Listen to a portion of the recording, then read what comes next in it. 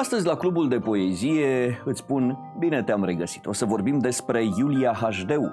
Aceasta s-a născut la București pe 14 noiembrie în 1869, fiind fica savantului și scriitorului Bogdan Petricei cu Hajdeu și a Iuliei, o ardeleancă născută Faliciu.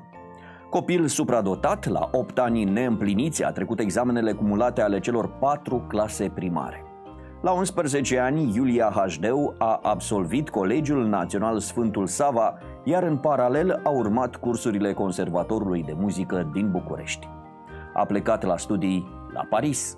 A fost prima româncă ce a studiat la Sorbona, studiu început la 16 ani, uimindu-și profesorii cu talentul său. De ce? De Iulia Hajdeu.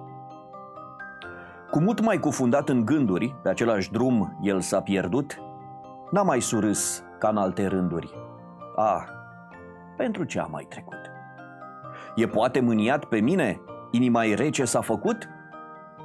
N-am turburat visări senine. Ah, pentru ce a mai trecut?